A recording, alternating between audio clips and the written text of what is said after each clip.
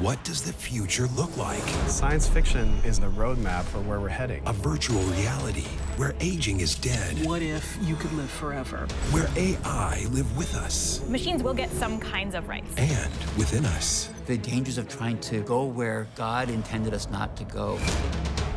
Can you see the future? You're about to. Year Million.